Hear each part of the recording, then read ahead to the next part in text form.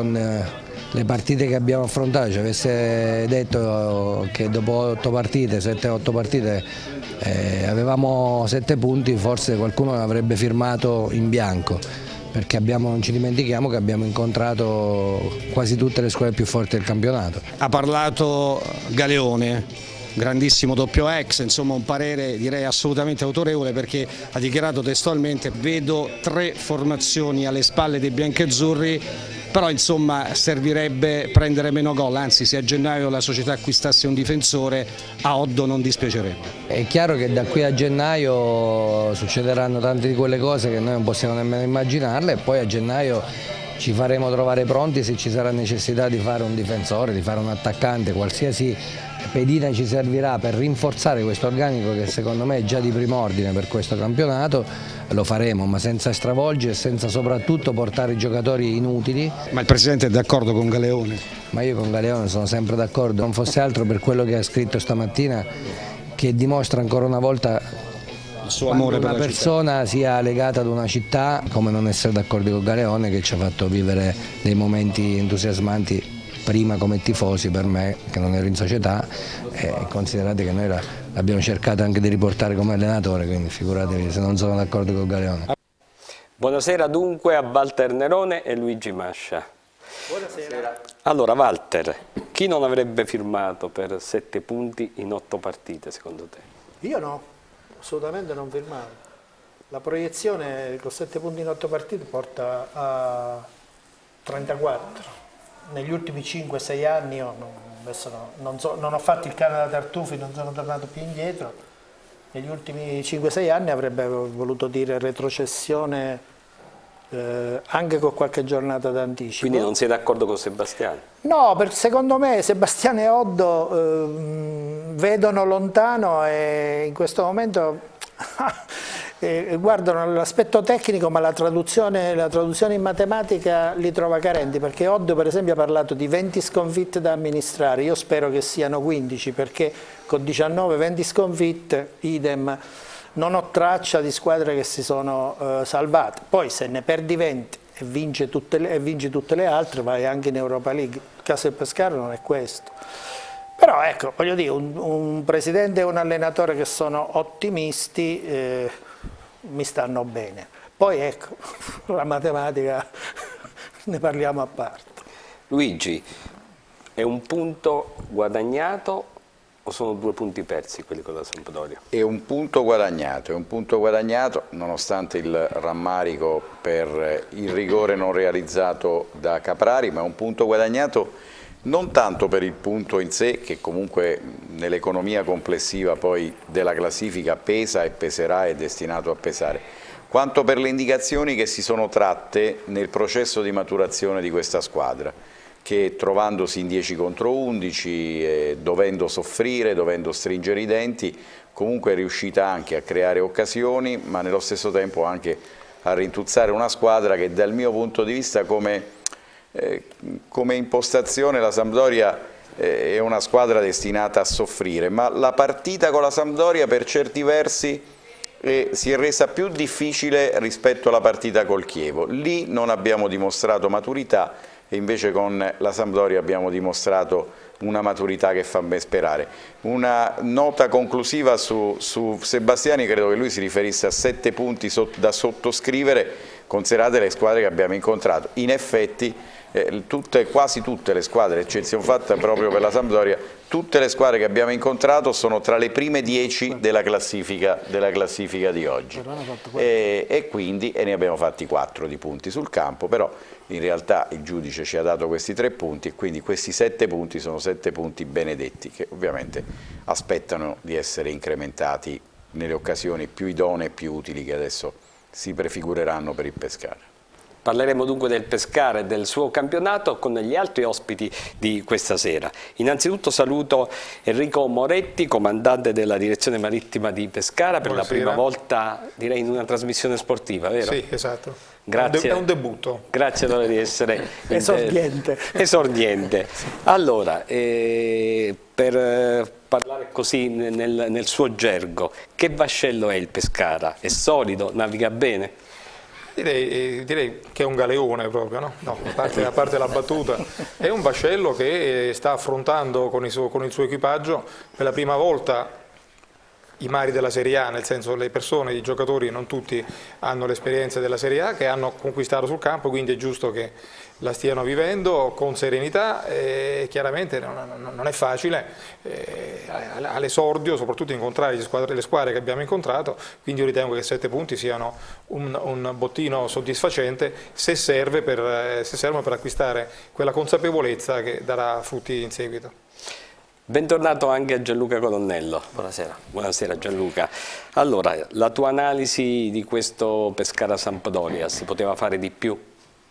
Ah, eh, la, partita, eh, la, partita, è andata, eh, stava andando male, quindi come ha detto Luigi bisogna prendere, bisogna prendere, questo punto come un punto molto molto positivo perché eh, tra virgolette come si suol dire muove la classifica e cercare di vedere sempre le cose, le cose buone e cercare di migliorare soprattutto nell'attenzione perché eh, il Pescara ha lasciato dietro anche pur giocando bene soprattutto nelle prime 3-4 partite di campionato tanti punti secondo il mio punto di vista eh, per, eh, per, disattenzioni. Quindi devono cercare oltre il gioco oltre tutto di, di prestare più attenzione perché alla fine i punti persi possono pesare Buonasera anche a Davide Tagliente. Buonasera a tutti. Allora, l'avvocato Davide Tagliente, sportivo. Allora, sentiamo eh, cosa pensa uno sportivo di questi sette punti su otto partite.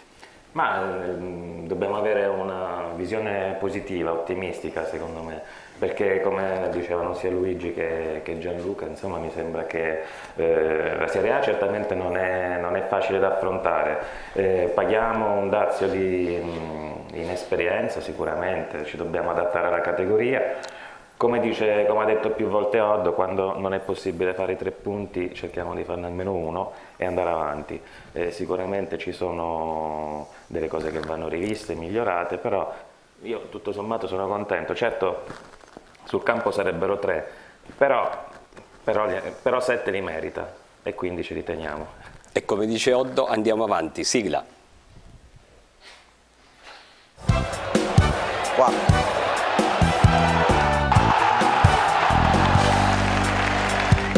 Sono seduto sopra una panchina, qui fermo ad aspettare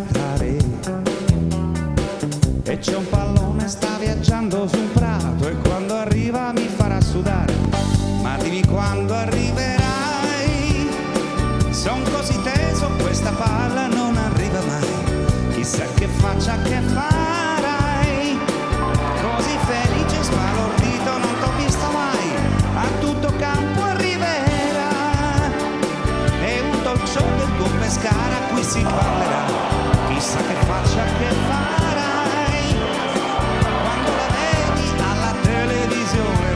Senza parole, clicca se seguici.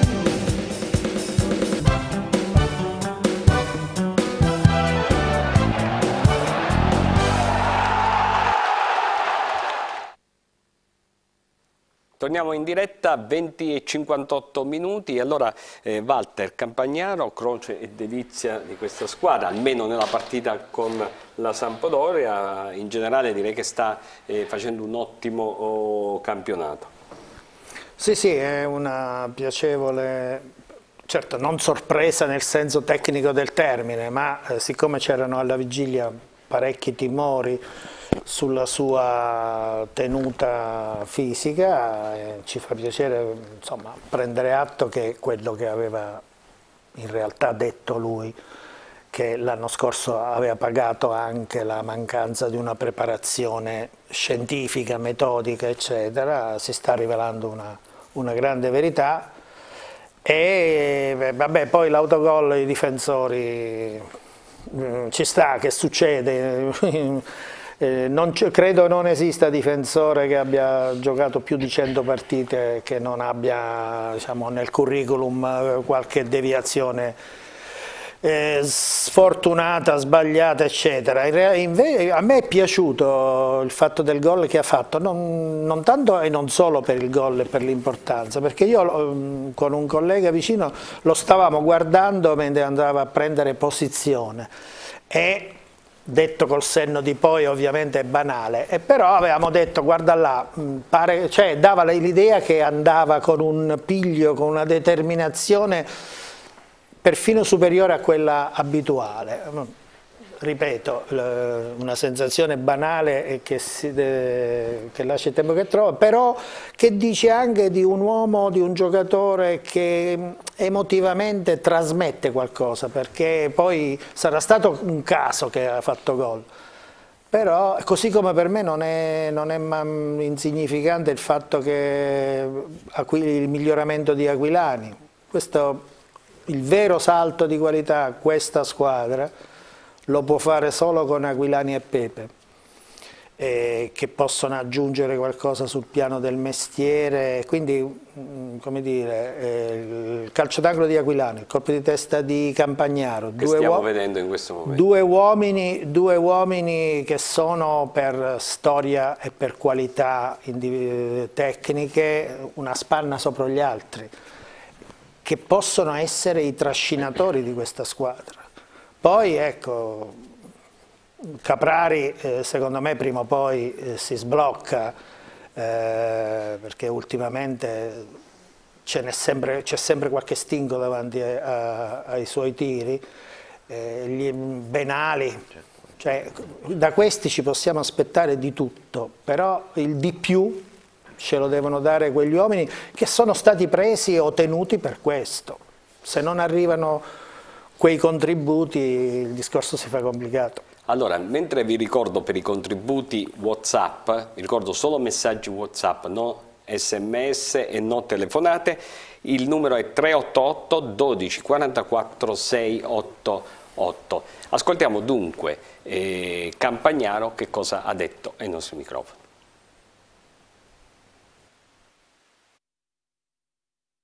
Lazio eh, tre anni fa eh, e niente, va bene, è un'allegria enorme, peccato che mi è toccato anche segnare nella mia porta, però sono cose che che ha il calcio.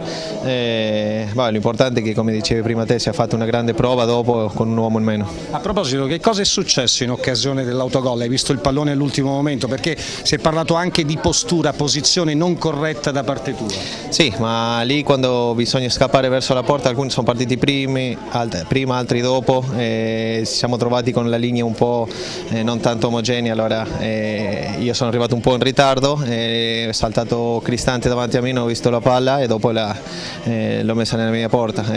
sono cose che al calcio peccato, adesso bisogna pensare all'Udinese che, che, è quello che si può fare qualcosa. Adesso sto meglio, sto giocando di più e, e niente, devo lavorare così perché è l'unica strada per cercare di fare tante partite, essere al massimo per dopo farle bene. Diciamo che durante la settimana di allenamento in canonica ti gestisci. Eh? sì, ma eh, questo va fatto, dipende dalle condizioni che, che, che, ci siamo, le partite a volte le finisci bene, a volte le finisci male, quando finisci bene puoi fare tutto durante la settimana, quando finisci un po'... Come l'hai finita, eh? quella con la Samp, come l'hai finita? No, no, con qualche acciacco, però comunque eh, meglio di altre settimane dove, dopo, dove, ho potuto dopo giocare eh, e niente, lavorare bene in settimana in, in quanto si può. Senti, ma questo è il primo vero snodo della stagione? Ma no, penso di no perché è troppo presto ancora. Eh, se vai a vedere la classifica tutto eh, direbbe di sì, però eh, comunque siccome è così presto e poi eh, sappiamo che l'Udinese fa sempre dei bei campionati, allora eh, non possiamo ancora parlare di uno, di uno, scontro diretto, però non si sa mai, bisogna affrontare tutti quanti al massimo perché i punti sono tutti valiosi. Fondamentale da qui in poi prendere soprattutto meno gol. Sì, quello, quello, è importante sempre, eh, però da adesso in poi quando si può fare qualcosa, quello che è successo è successo. Eh, stiamo lavorando bene secondo me in settimana per cercare di prendere meno gol, si provano tutte le dove abbiamo problemi, cerchiamo di allenarci su quello per migliorare. Eh, questa è una squadra giovane, allora eh, qualche problema lo abbiamo in più di altre squadre che sono più esperte, eh, allora bisogna imparare eh, in fretta. Gianluca Colonnello, eh, dalle parole di Campagnano traspare proprio questa grande professionalità dell'uomo. Sì, eh, ha giocato ad alti livelli, ha, ha esperienza e ha fatto capire tutto attraverso le sue parole, ha detto che è un gruppo giovane, quindi devono cercare di lavorare e anche attraverso degli errori, attraverso le sconfitte possono, possono imparare e migliorare, però ha detto che bisogna, bisogna migliorare in breve tempo e penso che lui possa aiutare tutta la squadra ad arrivare a un livello medio-alto per portare a termine questo, questo campionato eh, con la speranza di, eh, quando finirà appunto quest'ultima quest Serie A il Pescare riesca a raggiungere quello che tutti noi aspettiamo. Per la prima volta abbiamo ascoltato prima il Presidente Sebastiani parlare di eventuali correttivi, si parlava di un difensore, il discorso è sempre quello, difensore o attaccante o tutte e due. Secondo te il Pescara ha più bisogno di un difensore o di un attaccante? Io come ho detto tante volte bisogna aspettare per fare delle valutazioni sia sui giocatori e appunto su, sul, su tutta la squadra bisogna aspettare intorno alla tredicesima, quattordicesima giornata e quindi si possono iniziare a, a vedere perché può darsi pure eh, che il Pescari riesca eh, con una vittoria a sbloccarsi e quindi eh, riesca ad, ad, ottenere un buon passo per questo campionato quindi eh, bisogna aspettare e pensare già alla partita eh, di domenica contro l'Udinese perché sarà una, un banco di prova molto importante per, eh, per, il futuro. Moretti, è un Pescara che comunque eh, fa sorridere perché comunque gioca bene, al di là del, del, risultato, al di là di quelli che sono stati i piccoli errori commessi in questa prima parte del campionato, è una squadra che comunque eh, lascia soddisfatti i tifosi quando escono dallo stadio. Sicuramente, posso citare un esempio, quando siamo stati in Serie A nel 2013 praticamente eh, ero fatto oggetto di tanti sfottò da parte dei miei colleghi che sapevano la mia passione per i colori bianchi e azzurri, quegli stessi colleghi e amici che adesso mi chiamano per dire ah, l'ho vista in televisione, veramente è una squadra, è una signora squadra perché fa veramente piacere vederla, eh, vederla giocare in tutte le, le, le fasi proprio della, del gioco, perché è una squadra che cerca sempre di, di, di, di proporre, non cerca soltanto di, demolire il gioco dell'avversario di turno, ma cerca sempre di proporsi, cerca, affermando il proprio, il proprio tipo di gioco sbarazzino basato sul possesso e sulle ripartenze rapide. Mi dicono dalla regia che sono già arrivati alcuni messaggi, anzi ne stanno arrivando molti, vediamo se riusciamo a vederne qualcuno. Complimenti all'avvocato tagliente, un signore dello sport, Luca da Pescara. Allora, complimenti al eh, nostro eh, avvocato. Buonasera e complimenti per la trasmissione, sono d'accordo con Galeone, riusciremo a convincere la società a prendere un difensore per salvarci? Luigi. Beh, è, è, singolare che Galeone non, era, che non era uno proprio che si preoccupava, insomma, diceva che, che alla fine il portiere era un optional, insomma, di, di frasi celebri di Galeone che ha sempre avuto la mia ammirazione, forse... evidentemente invecchiando, tra virgolette, si preoccupa della difesa, eh, però il parere di, di Galeone è un parere sempre autorevole e rispettabilissimo eh, quindi avrà le sue buone ragioni per fare queste considerazioni e le sue buone ragioni sono in effetti anche i dati, i numeri che parlano di una difesa che fino adesso ha preso 11 gol. Voglio anche evidenziare però che 11 gol li ha presi pure il Milan che in questo momento è la squadra no. sugli scudi. Eh, e, e non mi pare che in Serie A ci siano difese tranne quelle delle solite squadre, eh, penso all'Inter, penso ad altre, penso a una Fiorentina che in questo momento è in grande difficoltà. Insomma eh, è vero che c'è un'emergenza difesa, ma il Pescara mh, mm, non ha una situazione ancora scabrosa, fortunatamente, e mi auguro che non lo sia per il resto del campionato. Poi se ci andiamo a rafforzare in un settore importante, tanto meglio, ma mi sembra che il Presidente abbia detto che comunque è disponibile a gennaio a prendere in considerazione questa ipotesi pur di non prendere giocatori che vengono a svernare o che comunque non sono pronti. E su quello credo che siamo tutti d'accordo, naturalmente. Eh, bene, allora eh, a questo punto vediamo se un altro paio di messaggi, se ci sono. Con la Samba abbiamo fatto vedere un po' di gioco del Pescara che vuole salvarsi, manca solo un po' più di decisione davanti alla porta. Forza Pescara sempre. E già perché è stato un Pescara più cinico quello contro la Sampdoria. Una domanda a Colonnello, se fosse lui l'allenatore e potesse scegliere una sola cosa da fare per risollevare un po' la situazione, cosa cambierebbe? Bella domanda Gianluca. Cosa cambiare, cambiare soprattutto eh, qualche risultato, eh, perché come ho detto prima le prime giornate penso che il Pescara eh, abbia disputato partite importanti, vedi Napoli, eh, giocando ottime gare, stessa cosa con l'Inter, quindi eh, io cambierei solo un, un, eh, un, po' di minuti di alcune partite, i minuti che, in cui hanno avuto difficoltà hanno subito eh, uno o due gol soltanto quello, perché per tutto il resto il, il gruppo penso che sia coeso e compatto si conoscono a memoria, eh, si rispettano tutti e, eh, ripeto, avendo fatto qualche campionato di A, eh, soprattutto per, per salvarmi, eh, molto importanti sono, sono, i risultati perché ti danno la possibilità di lavorare durante la settimana con la massima tranquillità e penso che al Pescara manchi solo quello perché eh, ridarebbe ancora più entusiasmo e, e, ai giocatori giusti per fare bella figura. Davide, nessuno ha mai parlato quest'anno di fortuna o sfortuna, ma se c'è un anno in cui il Pescara effettivamente fino adesso ha avuto della sfortuna, credo che sia proprio questo.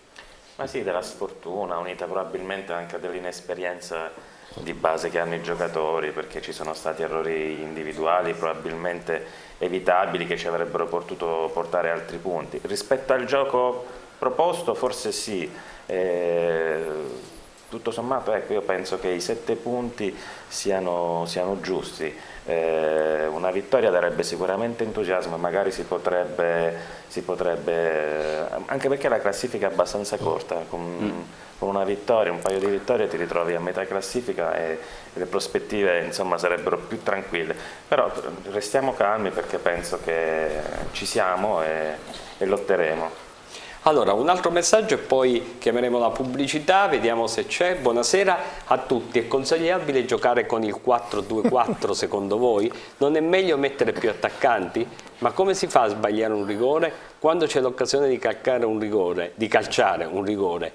È come un jolly quando si gioca a scala 40, ma vabbè, comunque buona la partita, ma bisogna vincere, speriamo con l'Atalanta. Grazie e buona serata. Questo è un poema, non è un messaggio, sentiamo che, che ne pensa Walter. Eh, allora, il 4-2-4 si può fare, non è vietato.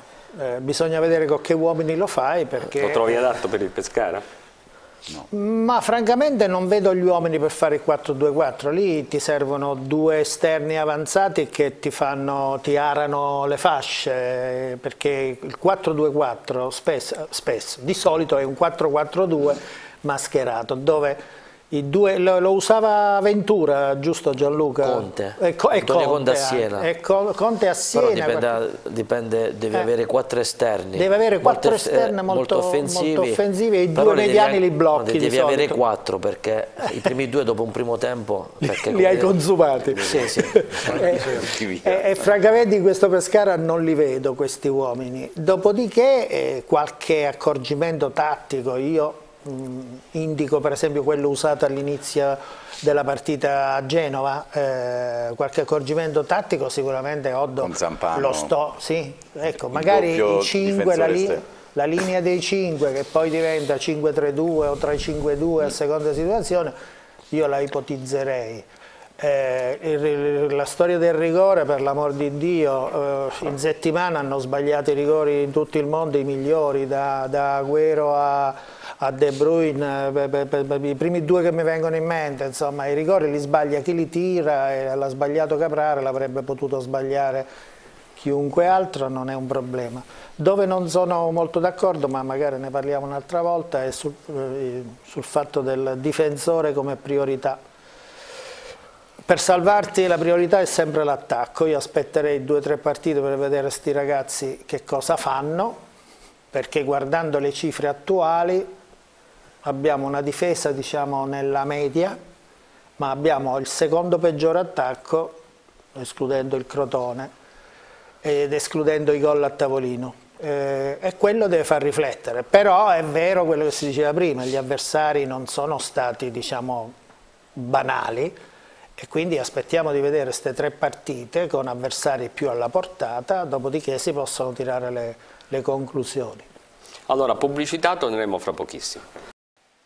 21 e 18 di nuovo in diretta dallo studio di A Tutto Campo. Eh, dunque proseguiamo con, con, i messaggi che ne stanno arrivando veramente eh, tanti e tutte con domande interessanti. Allora, buonasera, è vero che abbiamo incontrato tante squadre importanti, ma quando potremo cominciare a vedere il Pescara all'altezza della Serie A, forse oltre alla difesa si dovrà rivedere anche un po' la strategia di gioco. Chi mi vuole rispondere Gianluca? Sì, eh, si, si, possono rivedere tantissime cose, soprattutto quando non, non arrivano i risultati, però eh, penso che, come ho detto prima, è, è, troppo presto per dare valutazioni definitive per cercare di cambiare, di cambiare, o sistema di gioco o, o altre situazioni o calciatori. È troppo presto, il Pescara ha sette punti, eh, penso che siano, siano meritati eh, bisogna aspettare come ho detto prima intorno alla tredicesima, quattordicesima giornata perché sono in piena corsa e non bisogna, non bisogna essere pessimisti però bisogna tenere gli occhi aperti e come ho detto prima prestare molta attenzione a, a non perdere punti. Poi abbiamo detto anche che nelle prime giornate Pescara ha incontrato grosse squadre che fanno parte della parte sinistra della classifica però eh, bisogna dire che come è capitato a me quando giocavo, molte volte è meglio affrontarla all'inizio, soprattutto mm. nel campionato, perché le grosse squadre sono ancora in rodaggio e qualche volta puoi, puoi, prendere, eh, puoi beccare la vittoria importante, la, i tre punti giusti e quindi mm, bisogna, eh, bisogna, bisogna vedere come, come come vai ad, ad, incontrare queste squadre perché il Pescara avrebbe potuto ottenere sicuramente qualche punto in più con queste tra virgolette grandi. Qualche altro messaggio? Secondo me Nerone è troppo severo con la squadra, abbiamo ottimi giocatori, sono tutti molto giovani e come ha detto Campagnaro stanno soffrendo un po' per il fatto che ancora non si conoscono bene fra loro. Cosa ne pensate? Eh, risponde Walter, sei troppo Ma, severo. Tra di loro si conoscono benissimo perché diciamo, i nuovi non è che siano tanti, eh, dopodiché io non sono severo con la squadra, anzi paradossalmente io sono uno di quelli che difende la squadra perché dico che uno è nettamente migliore di quella dell'altra Serie A, due abbiamo uh, un coefficiente di gioventù e di inesperienza notevole e un po' lo paghi, tre hai notevoli margini di miglioramento. Però mettendo tutto insieme guardando i numeri di adesso dico che serve qualcosa in più. Adesso Oddo tirerà da questi eh, la sorpresa, che, eh, tirerà il famoso coniglio dal cilindro con buyback che diventa eh, il, nuovo Balotelli, saremo felicissimi, toccherà aspettare gennaio andarlo a trovare sul mercato, va bene lo stesso, però con il ritmo attuale, mi spiace per il Presidente, al quale invidio la, la, la fiducia e spero che abbia ragione lui, con il ritmo attuale bisogna stare attenti perché qua stiamo parlando di un ritmo dove tre dei sette punti sono arrivati per una svista di un segretario amministrativo e non per un gol di qualcuno dei nostri, eh? non ce ne dimentichiamo mai. Vediamo se ci sono altri messaggi. Una domanda a Morelli, anche se esula dal calcio, cosa ne pensa della questione sull'inquinamento del mare e del piano portuale? È più facile che vinciamo il campionato o che si risani la condizione balneare di Pescara? Beh, una domanda Moretti. mista diciamo. Beh, eh, non so, da tifoso mi piacerebbe dire che mi piacerebbe una volta vincere il campionato e poi l'anno successivo risaniamo il mare. e tanto c'è sempre tempo, no? A parte gli scherzi, sono Speravo di non affrontare questa volta domande sugli aspetti, sugli aspetti, professionali, è chiaro che quella è una battuta, è una battuta per... Eh, sì, per stimolare un po' le cose, è chiaro che eh, per eh, vincere il campionato servono buoni buoni giocatori, per risanare il mare serve tanta buona volontà e soprattutto rimboccarsi le maniche da parte di tutte le amministrazioni che si affacciano sul fiume e che devono sistemare gli impianti fognari. Credo che la strada sia segnata in questo senso, quindi credo che sia possibile risanare il mare nel, nel medio periodo, non nel breve ma nel medio periodo sicuramente sì e poi non vorrei più parlare né di mare né di porti ma di calcio per quello che posso ah, fare, certo. quello che posso dire, ben poco magari però.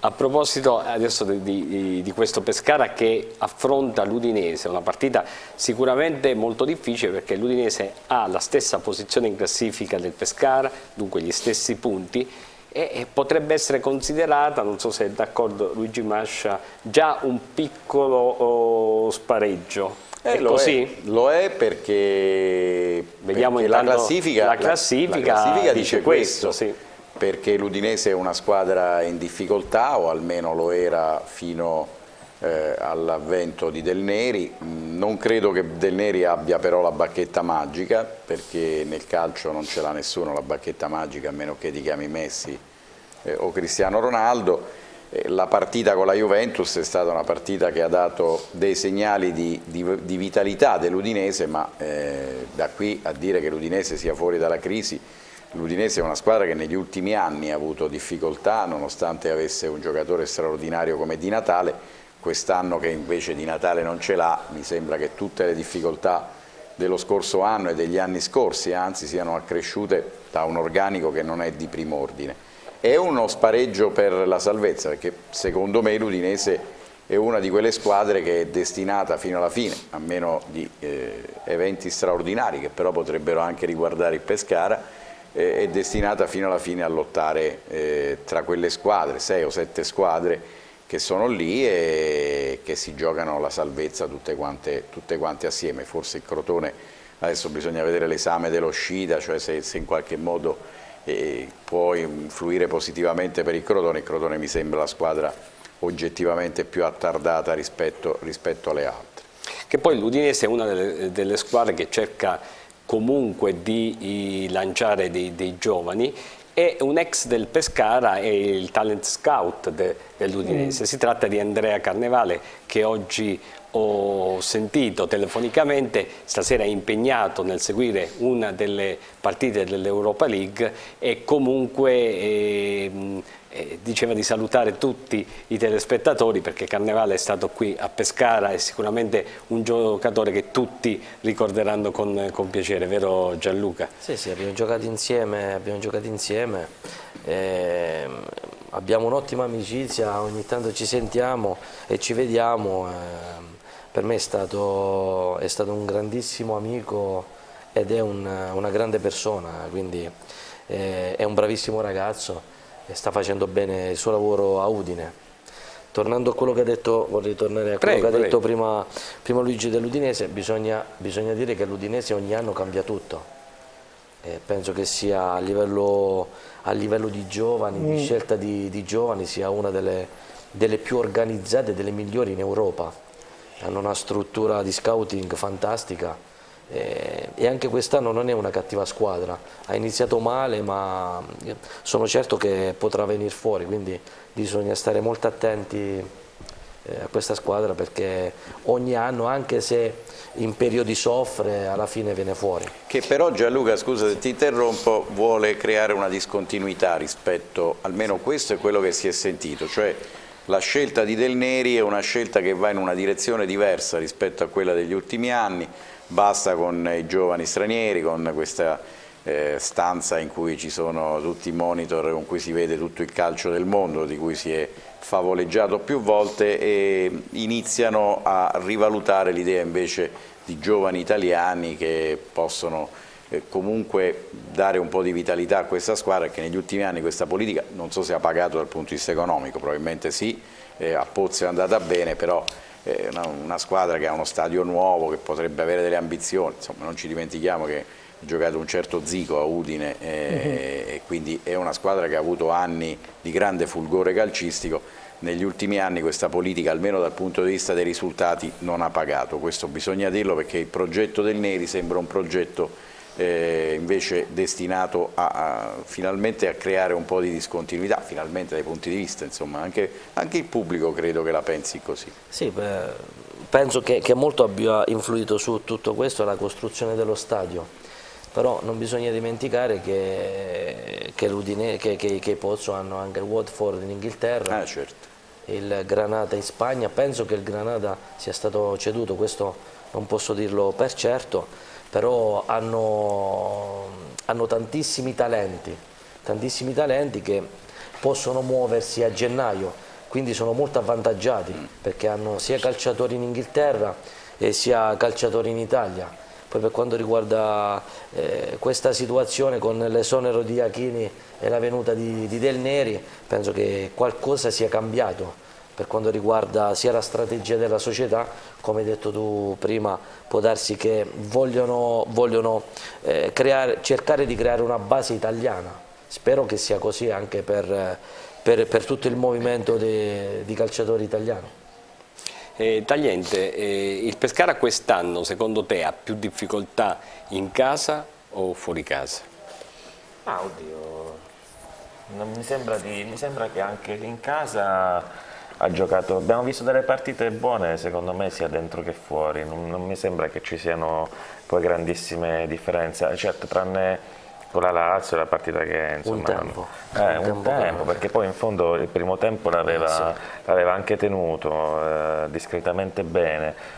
Tutto sommato non vedo grandissime differenze dentro e fuori. Mi sembra che, che ci siano veramente tutti i presupposti per poter sperare. Manca qualcosa eh, come diciamo prima anche durante l'intervallo, manca forse il bomber d'aria, qualcuno che, che faccia qualcosa più di 10 gol, eh, come diceva Gianluca, che sono necessari per poter sperare in una salvezza.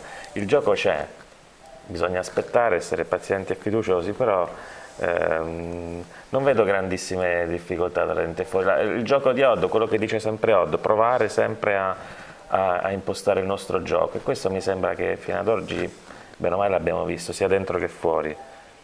Eh, Moretti, il Pescara sta giocando, intanto vediamo altri messaggi. Buonasera a tutti, se veramente ritorna la Padula potrebbe affiancare il francese Bebec giocando con un 4-3-1-2 Francesco. Fra poco risponderemo anche a questo, ma eh, volevo chiederti, è, ehm, è, una squadra che sta comunque disputando delle ottime partite, ripeto al di là dei risultati o della sfortuna e quindi abbiamo un pubblico che lo sta seguendo con grande interesse e anche con, in gran numero perché Pescara è tra le città che mantiene una quota di spettatori eh, certamente positiva rispetto ad altre città quest'anno. Sicuramente appunto il bel gioco Questo vuol dire qualcosa insomma. Paga perché innanzitutto il pescarese come, come persona ho imparato a conoscerlo nei lunghi anni di permanenza nella città che è diventata la mia città, ama questo tipo di gioco, cioè un gioco che non, eh, eh, non fatto diciamo, di riverenza verso l'avversario, ma fatto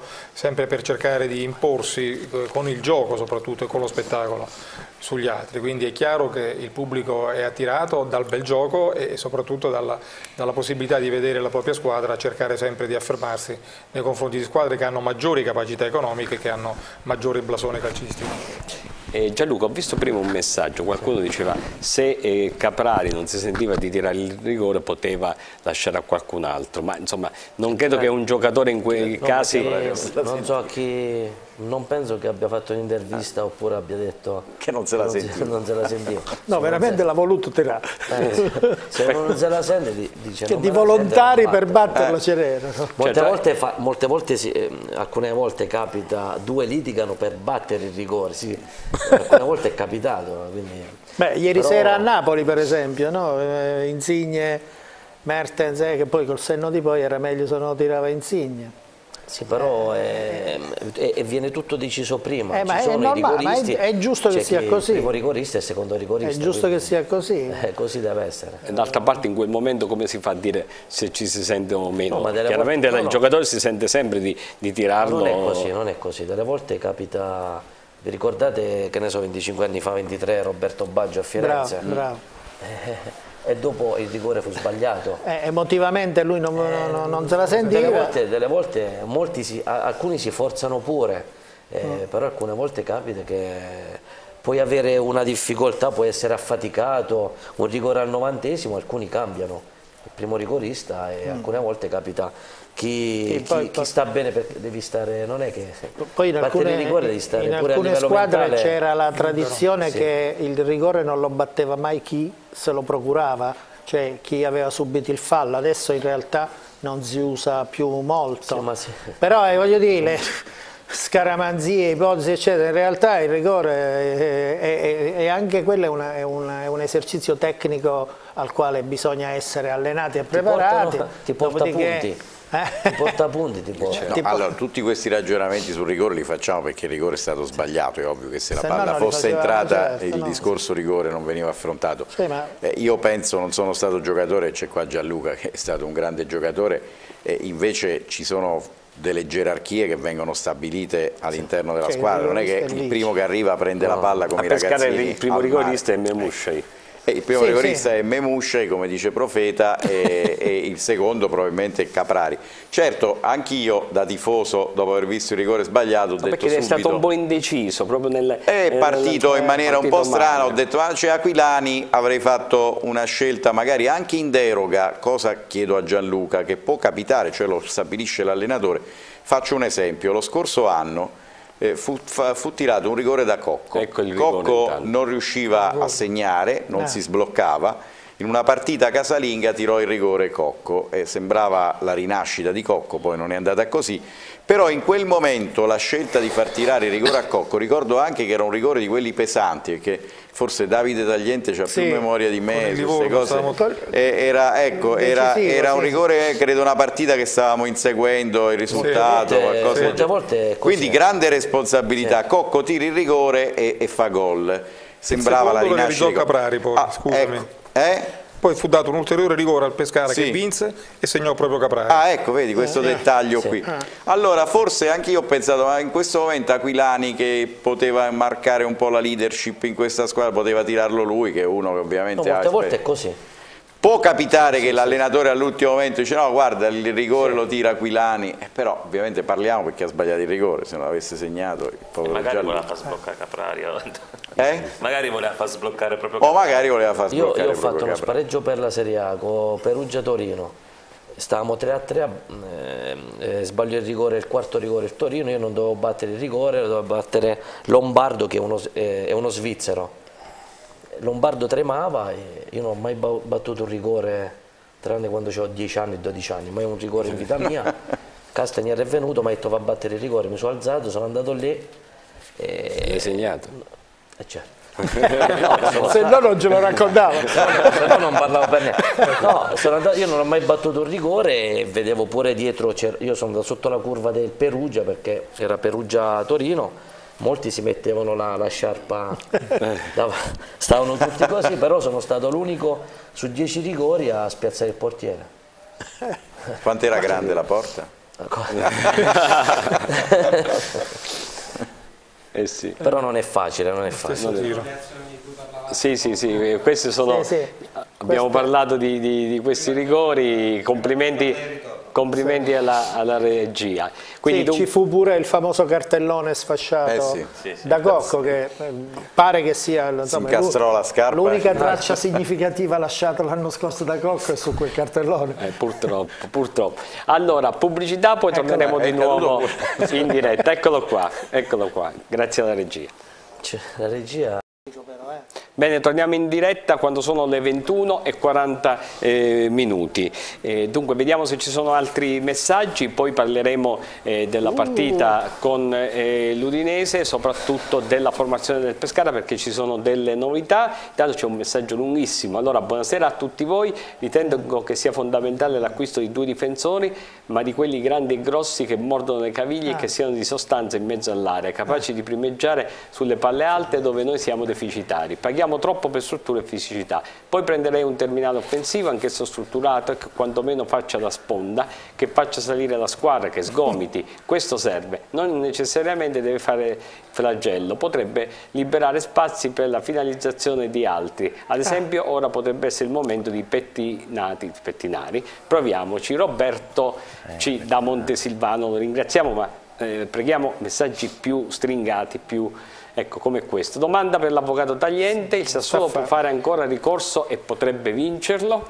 Ma il ricorso c'è un altro grado di giudizio, tecnicamente potrebbero farlo, ma onestamente non credo che, che possa avere grosse, grosse possibilità. C'è un regolamento che parla chiaro, prevede la sconfitta a tavolino eh, 0 a 3 in caso di, di, di schieramento di giocatori non presenti nella lista la PEC, questa famosa PEC, non è stata non fatta. È stata fatta. Io penso che insomma qui di avvocati ne siamo, ne siamo parecchi, parlato. però non è che ci sia molto da, molto da dire. La PEC non c'è, è come se sostanzialmente eh, è come se eh, avessero giocato con un giocatore squalificato. Eh, oppure se in Champions schieri un giocatore che non è nella lista Champions, non lo puoi schierare, loro dicono ma è tesserato, ma è tesserato, lo so che è tesserato, però non lo puoi schierare perché non è, la- perché non è nella lista.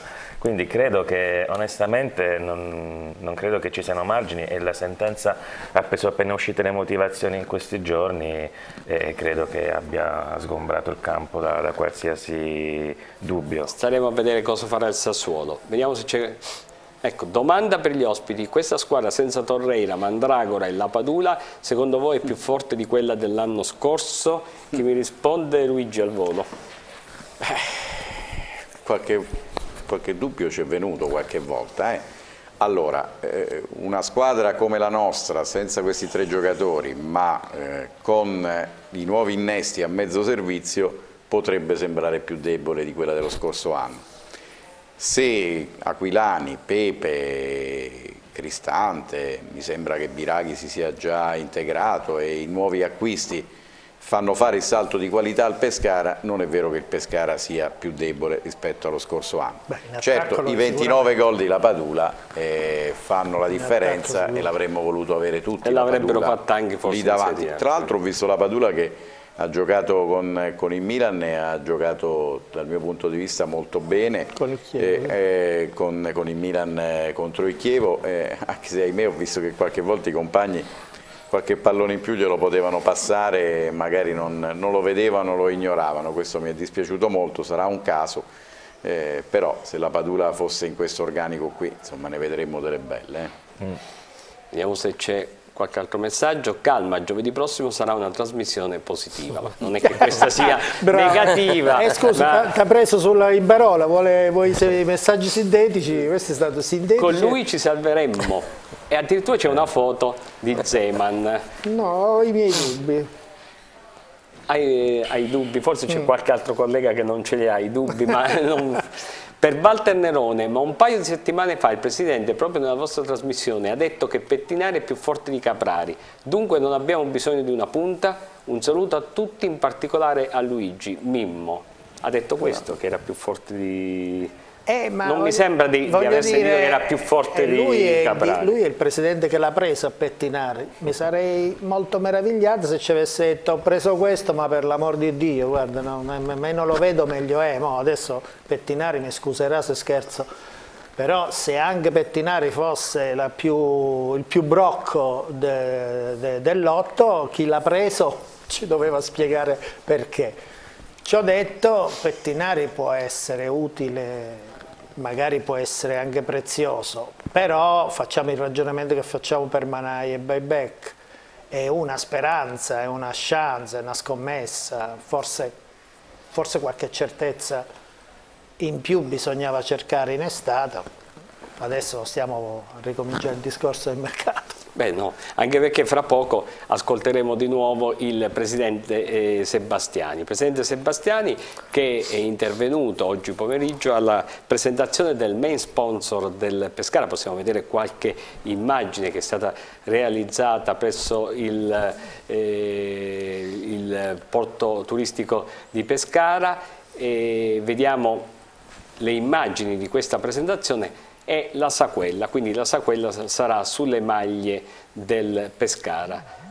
Questa è sicuramente una nota eh, positiva perché si cercano sempre eh, degli sponsor, di chi può aiutare la squadra e questa eh, ovviamente non è una società come tante altre di Serie A, ha bisogno di aiuti e questa è una nota positiva, il fatto che il Pescara aggreghi tante persone, tanti sponsor, tanti imprenditori, Moretti. Certo, poi quello che fa piacere è che è uno sponsor di Pescara e ancora di più che sponsorizza il caffè perché abbiamo bisogno di una bella Ah, dose ci- di caffè per svegliarci, ci- ripeto, a ci parte, la, a parte la battuta, consapevolezza dei propri mezzi, perché io sono convinto che la cosa fondamentale eh, sia aver dimostrato che c'è coesione all'interno all'interno dello spogliatoio. E questo è fondamentale in tutti i campi, la coesione, la condivisione dell'obiettivo e poi la vittoria verrà, senza, ver- verrà, credo, verrà da sola, senza avere quell'ansia da prestazione. perché quella poi genera dei problemi che potrebbero ripercuotersi poi sulla serenità dello spogliatoio. E sono convinto anch'io che giovedì prossimo saremo, non la trasmissione, saremo tutti noi tifosi più contenti e soddisfatti. Allora, ascoltiamo le parole di oggi pomeriggio del Presidente del Pescara, Daniele Sebastiani. Noi non partiamo mai per, eh, per, fare dei risultati già scontati, noi cerchiamo di giocarci le nostre, le nostre partite sempre, quindi mi auguro che magari si possa fare anche meglio, però guardando sempre in faccia la realtà, la realtà dice che stiamo giocando un campionato di Serie A che è assolutamente difficile, tutte le squadre sono molto attrezzate, non bisogna farsi eh, diciamo, prendere dall'euforia pensando di incontrare compagini che sono eh, più deboli, non è così, eh, l'abbiamo visto contro il Chievo. Io mi auguro che, che quella partita del Chievo ci possa servire da lezione per il futuro perché, perché, secondo me non ci sono squadre deboli, non ci sono squadre materasso e quindi bisogna lottare fino all'ultimo giorno. Un telegramma sulla partita di domenica, all'ora di pranzo, l'Udinese, un telegramma sia all'Udinese ma soprattutto ai suoi giocatori. All'Udinese il telegramma è quello di che noi andremo lì per fare la nostra partita come al solito, per i nostri giocatori è di tenere botta come abbiamo fatto fino adesso perché secondo me questa è la strada giusta per arrivare ad ottenere un, un risultato che possa essere storico per, per il Pescara, per la città di Pescara e per questa società. Ai suoi giocatori? Ai, miei giocatori parlo sempre, giornalmente, quindi dico che devono continuare così perché non, non stiamo facendo assolutamente eh, male, stiamo facendo anzi secondo me bene e quindi devono continuare su questa strada perché questa è la strada giusta per arrivare in fondo ad ottenere quel, risultato che tutti aspettiamo da una vita a Pescara. Questa è la strada giusta, così dice Sebastiani. Vediamo se ci sono altri apporti eh, da casa, sono tantissimi messaggi che stanno arrivando. E se era a tutti voi da Antonella, ritengo al Pescara sia arrivato un allenatore che non mi stancherò mai di ripeterlo, ha a cuore la città e la squadra più di chiunque altro fosse arrivato al suo posto. Propone un bel gioco, ha carisma e voglia di fare, direi che ricorda molto Galeone. Lasciamolo lavorare, sono sicura che saranno soddisfatti per tutti. Intanto mentre vediamo altri messaggi, è vero che ricorda Galeone il gioco di eh, Massimo Oddo, è diverso secondo Gianluca Colonnello? Eh, no, no, eh, la signora, la ragazza ha ragione perché in alcuni tratti eh, ricorda quelle belle trame che vedevamo circa un ventennio fa con Galeone, eh, soprattutto l'ha ripetuto anche lui, periodi di Allegri, di Massara mm. e, di, e di Bivi quindi eh, ci sono molte similitudini eh, con, con, quelle belle annate. Spero che oltre, oltre queste belle trame, come abbiamo detto, arrivino vittorie, perché alla fin fine quelle sono importanti. Ma perché secondo voi Oddo è così amato a pescare? Di solito si dice nessuno è profeta in patria, per Oddo è, è cosa diversa Luigi? Eh, perché Oddo è bravo, ci sa fare, è un ottimo comunicatore, conosce quali sono le, le corde da muovere dei pescaresi, di noi pescaresi, offre eh, poi un livello eccellente di qualità di gioco. Eh, credo proprio in questi giorni nel ricordare il calcio che ha impressionato di più a Pescara eh, che alla fine quel 4-3-3 eh, che ha contraddistinto molto diversi, che ha contraddistinto Galeone, che ha contraddistinto Zeman, contraddistingue Oddo, ma è quella formula di gioco che piace tanto a Pescara, che è un pubblico dal palato fine, è una piazza dal palato fine che vuole qualità di gioco, non vuole il calcio sparagnino, quello che magari porta anche il punto o porta la vittoria, ma in realtà ti fa andare via dallo stadio eh, quasi insonnolito e quindi dice vabbè abbiamo vinto però non ho visto lo spettacolo.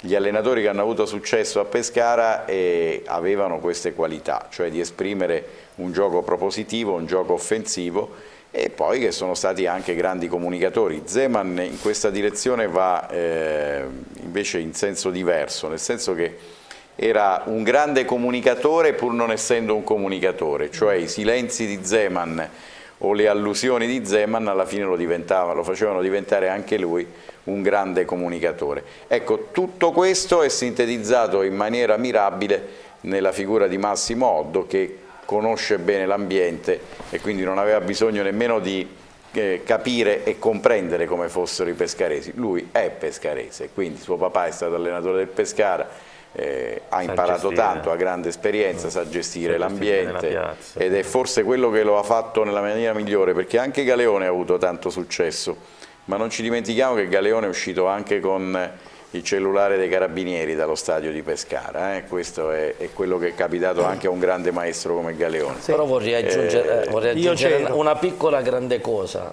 cioè, molte volte circa per il 95% eh, la simpatia e la bravura eh, si ottiene attraverso i risultati. Ah, certo. Perché molte volte il, il tutto si racchiude certo. in quello. Non basta. Quindi sì. Solo...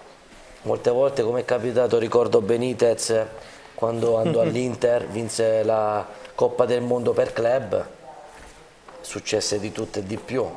Mm. Eh, lui vinse, però poi dovette andare via per, eh, tra virgolette, cattiva, il cattivo rapporto eh, che si era creato con alcuni ragazzi.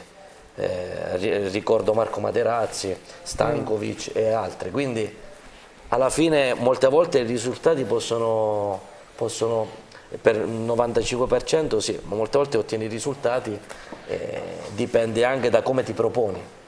Allora abbiamo la pubblicità, però se facciamo in tempo un paio di messaggi proprio prima di passare alla Pubblicità, un saluto biancazzurro ad Arbore Mascia da Piazza Garibaldi, grazie. Aquilani e Pepe purtroppo camminano in mezzo al campo, spero che torni eh, il Pescara delle prime partite. Allora è vero che camminano? No, no che camminano no, no. Eh, stanno mh, mm, sicuramente in, erano sicuramente in ritardo di condizioni. Io spero che Aquilani sia già pronto per eh, domenica eh, che Pepe sia già pronto per domenica, Aquilani ha già fatto vedere che è migliorato. Io non credo molto a certe statistiche che sono uscite, secondo cui l'altra volta Aquilani è stato la Gazzurro che ha corso di più. Mm. Ha battuto tutti i calci d'angolo, si è fatto il campo in lungo e in largo anche per andare quello. Le macchine a volte sono un po' stupidotte, no?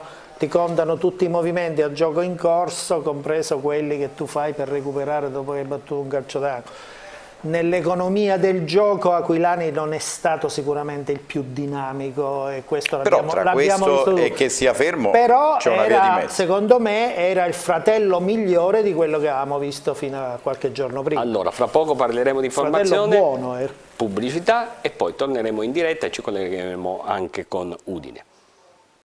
Bene, torniamo in diretta quando sono le 21 e 59 eh, minuti, dunque eh, Tagliente in attesa di, di collegarci con Udine, vediamo un attimino quella che può essere la formazione del Pescara che prego la regia di mandare in onda.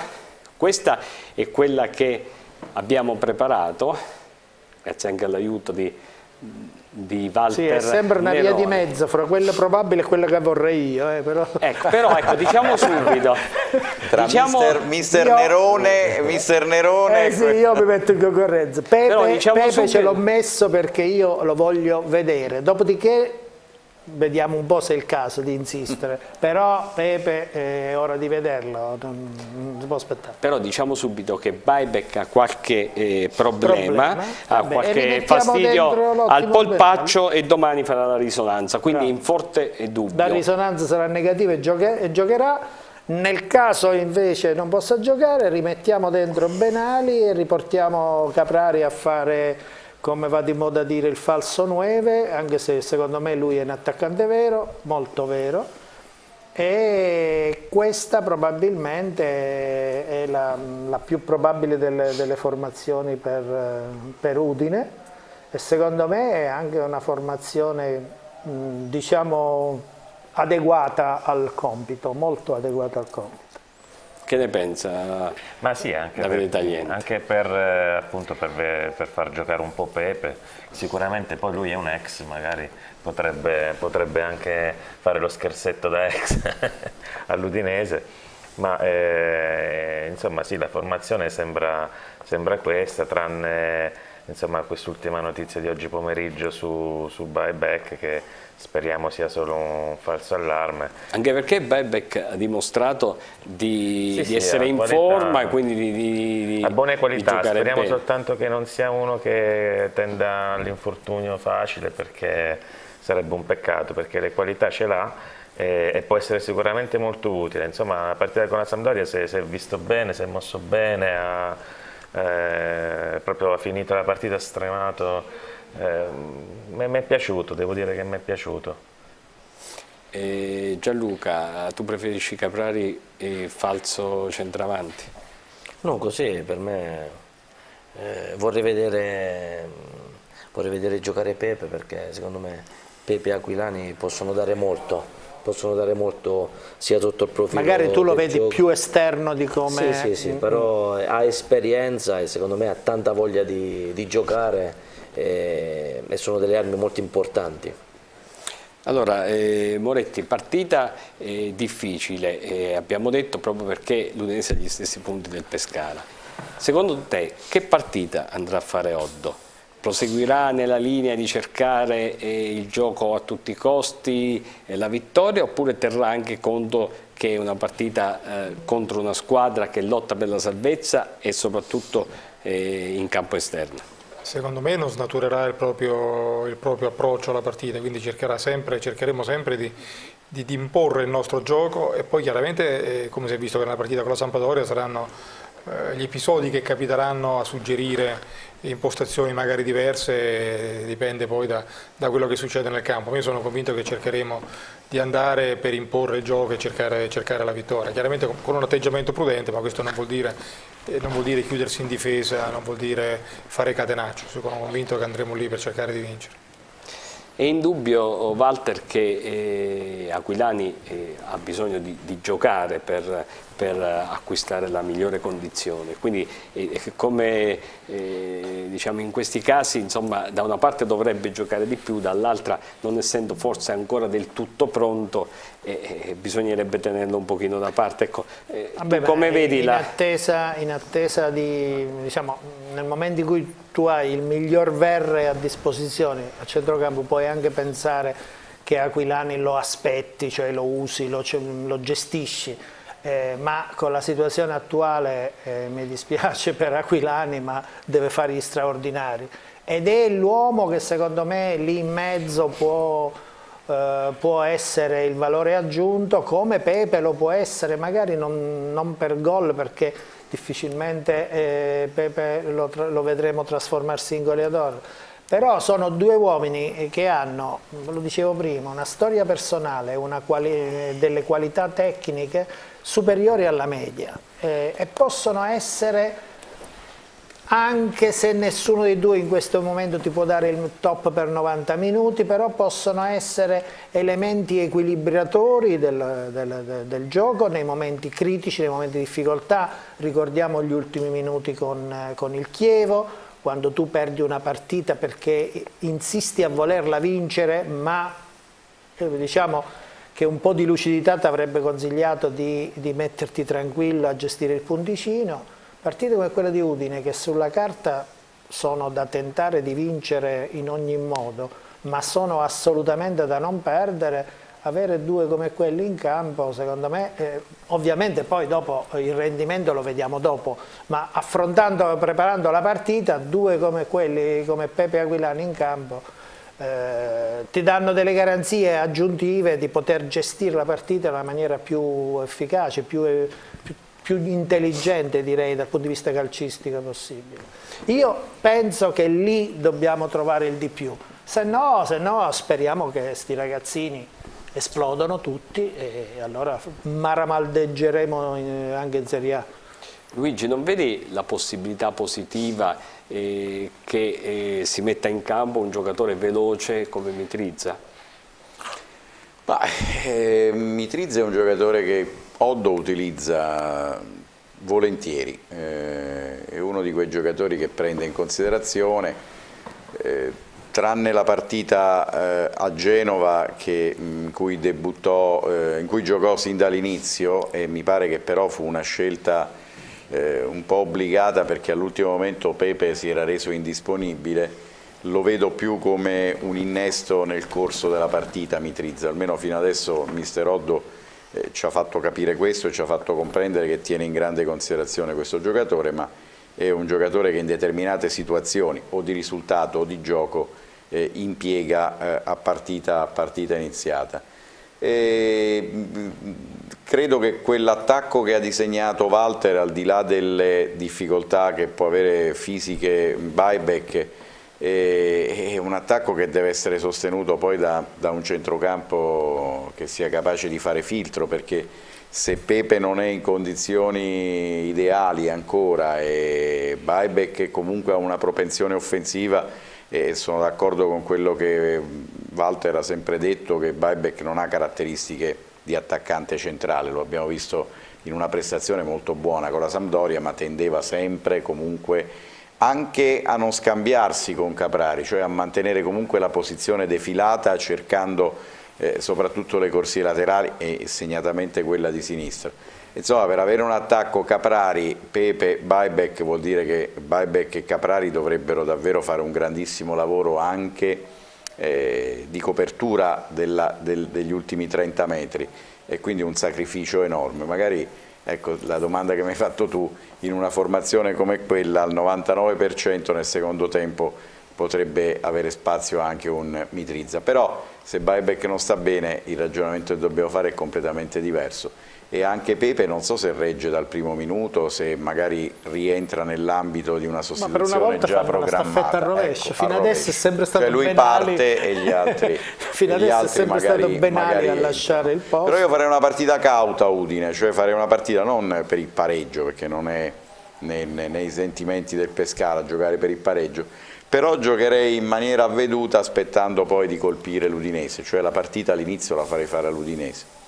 Queste sono intanto le partite della nona giornata, le leggiamo. Atalanta-Inter, Bologna-Sassuolo, Cagliari-Fiorentina, Crotone-Napoli, Empoli-Chievo, Milan-Juventus, Roma-Palermo, Sampdoria-Genoa, Torino-Lazio e Udinese-Pescara. Perché le leggiamo? Perché adesso la classifica incomincia a, contare e quindi che ci sia per esempio un Crotone-Napoli è sicuramente positivo per il eh, Pescara. Anche un Roma-Palermo però. Anche un Roma-Palermo. È, è, chiaro che vediamo la classifica che il Pescara deve fare eh, la corsa cercando di, i, ovviamente, di stare al di sopra delle ultime tre che in questo momento sono Crotone, Empoli e Palermo. Possiamo intanto andare ad Udine eh, dove c'è il, il, collega Francesco Pezzella. Allora eh, Francesco buonasera. Salve, buonasera a tutti. Francesco? Sì, sì, vi sento, buonasera. Ah, ecco, buonasera. Ecco, come eh, è l'attesa dell'Udinese eh, in uh, previsione della partita con il Pescara?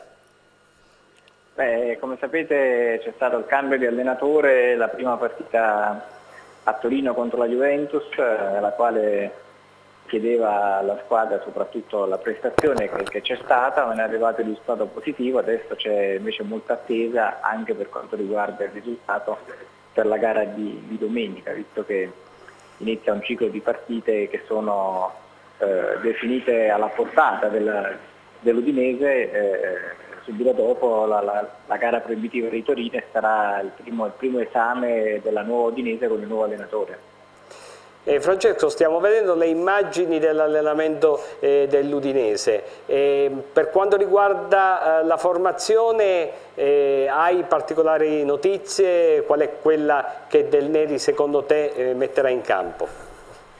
Ma è difficile dirlo adesso perché ci sono alcuni giocatori che hanno avuto dei problemi come Badu che è rientrato con un problema eh, che è stato fortunatamente risolto, ehm, non si riesce ancora a stabilire se sarà in condizioni di giocare o meno. Eh, per il resto, al di là di Evandro e Conè che hanno delle problematiche che sicuramente li terranno fuori, Evandro è stato operato ad un piede, ne avrà ancora qualche mese, Conè ha avuto un problema alla spalla, entrerà gradualmente in gruppo. Per il resto sono tutti a disposizione, bisognerà vedere come Del Neri deciderà di affrontare questa partita, considerando che ha avuto questa settimana tutti i giocatori a disposizione, anche quelli che erano stati eh, in nazionale la settimana precedente, quindi ha avuto modo di poter vedere all'opera con, uh, con, maggiore assiduità i calciatori della, della Rosa e eh, magari potrà presentare qualche, qualche novità. Come viene interpretata questa partita a Udine? Come uno spareggio già? Ma non è uno spareggio perché siamo ancora eh, tutto sommato all'inizio del campionato, quindi definire uno spareggio è sicuramente azzardato. È una partita però importante perché, come dicevo, si arriva eh, a questa partita all'indomani della gara con la Juventus, c'è tanta attesa, l'Udinese mm, ha bisogno di, di, fare risultato per la classifica ma anche per, per rimettersi in carreggiata e mettere alle spalle il periodo difficile. Cosa si teme di più del Pescara? Ma del Pescara si teme sicuramente il bel gioco che eh, ha mostrato, la, la, la la tenacia, il fatto che la squadra non molli mai, una squadra che gioca tanto e eh, cerca appunto di arrivare attraverso il gioco al risultato, che comunque anche nelle partite in cui ha lasciato i punti agli avversari ha sempre dimostrato di giocarsela fino alla fine, quindi sicuramente quello che posso dire è che non c'è assolutamente la, eh, la convinzione che arriva un Pescara eh, che l'Udinese batterà in un solo boccone, no, ci sarà sicuramente una partita difficile perché in Serie A partite facili non ce ne sono, c'è grandissimo rispetto per il Pescara e c'è eh, sicuramente eh, da parte dell'Udinese la voglia di, di, far bene ma consapevole anche di affrontare una squadra eh, che fino a questo momento ha mostrato le buone cose, quindi chiaramente una squadra da affrontare con attenzione e come diciamo con grande rispetto. Bene, ti ringrazio Francesco, buona serata. Grazie a voi, buona serata. Bene, abbiamo ascoltato che eh, chiaramente eh, ovviamente una partita importante anche eh, per l'Udinese eh, che secondo me, ma questa è l'opinione che mi sono fatto io, non so se, se siete d'accordo voi, eh, aspetta il Pescara proprio per avere il rilancio. Eh, gioco, gioco e forse ha anche ragione perché gioca in casa Giocano, contro una squadra che non è sì. chiaramente la Juventus. Eh. Sì, sì, si trovano in quella posizione, sono realisti, quindi è come il Pescara deve cercare di, di, di fare punti perché sono fondamentali per, per il campionato, anche l'Udinese che domenica scorsa ha disputato una gran bella partita. Sì, sì, ha giocato bene e ho visto i giocatori, è un'ottima squadra, come ho detto prima eh, bisogna, bisogna, stare molto attenti perché eh, possono, venire fuori, possono venire fuori da un momento all'altro, però devono prestare molta attenzione anche al Pescara perché eh, può uscire sempre qualche risultato eh, che nessuno si aspettava prima. Allora ultima fascia pubblicitaria, poi torneremo per le conclusioni. 22 19 minuti siamo proprio in conclusione e so che stanno arrivando tanti messaggi forse non riusciremo a leggerli tutti quindi prego la regia comunque di mandarli in onda poi se qualcuno è interessato a rispondere lo può fare direttamente. Allora eh, Udinese Pescara per eh, concludere Tagliente è una partita difficile, una partita difficile, l'Udinese cerca riscatto, ha cambiato l'allenatore, eh, era partita forse per loro eh, teoricamente giusta per provare a ripartire, e però il Pescara non deve andare lì a, a porgere l'altra guancia, eh, andrà a giocare la sua partita sperando che ci sia una maggiore attenzione anche in difesa, una buona partita, gagliarda e cerchiamo di sbloccarci perché potrebbe essere anche invece l'occasione per il Pescara di approfittare delle difficoltà che sta mostrando l'Udinese e magari far arrivare questi primi tre punti sul campo che, che tutto sommato ci meritiamo. Gianluca, da cittadino di Portanuova, che, che dici di questa partita? E qual è l'allenatore migliore che hai avuto? Ma, eh, per quanto riguarda la partita con, eh, con l'Udinese, secondo me il Pescaro deve affrontare con entusiasmo e voglia di, di, di, dimostrare, eh, di, dimostrare, qualcosa perché come ho detto prima può rappresentare qualcosa di importante per il proseguo del campionato. Eh, e quindi però sarà una partita molto difficile perché come ho detto prima eh, l'Udinese ha una struttura mh, ben collaudata e ha dei, degli ottimi giocatori. Per quanto riguarda il migliore allenatore che ho avuto eh, per me è stato, ne ho avuti 23, non, non mi ricordo, 24, 25, non ricordo, eh, Castagner, eh, con Ilario Un Castagner. Gentiluomo, ho avuto, oltre sì. Sì, sì, un gentiluomo, una, una persona stupenda e ho avuto un ottimo rapporto con lui e lo ricordo sempre con affetto. Moretti, dunque Udinese Pescara, vogliamo X2. provare a fare un pronostico? X2, X l'ho messo tra parentesi però. Allora, ottimista e ben ci sta. Eh, Walter, partita difficile ma il Pescara può trovare veramente la spinta per andare in una posizione di classifica Una partita, un'opportunità per tentare la zampata, per rompere, togliere quello zero nella casella che per adesso è coperto da un virtuale, metterci la vittoria vera, eh, però come dicevo prima è una partita anche da affrontare con intelligenza. Cinismo all'inizio perché loro i problemi ce ne hanno più, molti di più di noi, quindi bisogna in qualche modo approfittare di queste difficoltà e poi intelligenza perché se non puoi avere tutto magari ti accontenti di avere qualcosa. Allora Luigi, eh, su questa partita e poi qualcuno chiede che tu dica qualcosa di negativo sulla Bello, quello società, era insomma. bello, cioè, il messaggio era bello. quello. Eh? No, il messaggio era bello. Quello del- Sì, sì, sì, sì. Ah, quello no, guarda, precedente. Non diciamo più che le partite sono difficili, o meglio, distinguiamo tra partite difficili e partite proibitive in Serie A, perché Mm. partite facili eh, non ce ne sono, quindi è chiaro che diciamo Ah, sempre questo- partite questo difficili. Beh, una cosa negativa alla società che non toglie il vetro del- della zona VIP, peraltro L'ha io non fatto, sto andando allo stadio, eh, però lo ha fatto? Ah ecco vedi, non sto andando allo stadio, era, erano da anni, beh quindi a questo punto devo deludere lo spettatore, perché No, aggiungo un complimento. sarebbe quello della tribuna stampa Aggiungo un complimento. Ecco, allora mi faccio portavoce perché di anche quello. la che- stampa possa sentire i rumori di ambiente perché chi ha progettato quello stadio pensava che lì ci doveva andare, che ne so io, qualche, qualche autorità da proteggere dall'ambiente.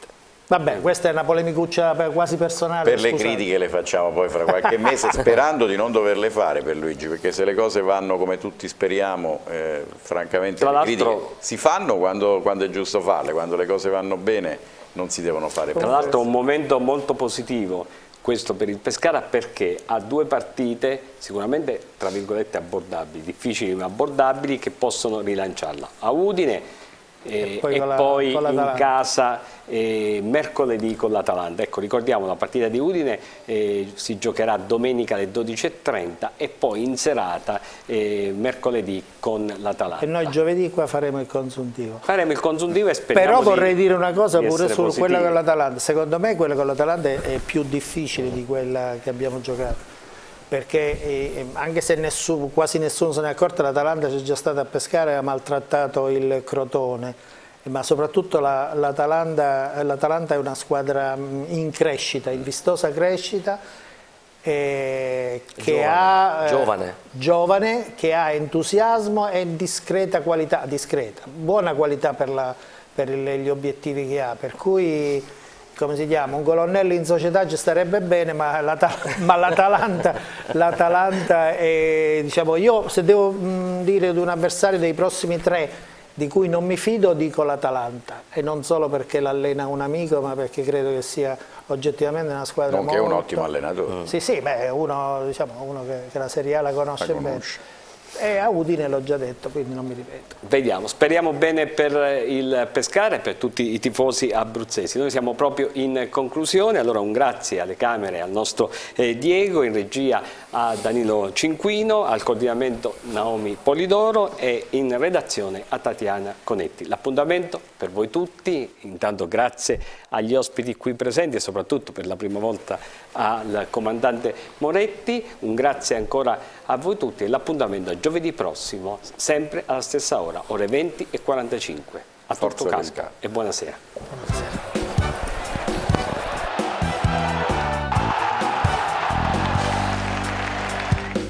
Sono seduto sopra una panchina, qui fermo ad aspettare. E c'è un pallone, sta viaggiando su un prato e quando arriva mi farà sudare. Ma dimmi quando arriverai, son così teso, questa palla non arriva mai. Chissà che faccia che farai,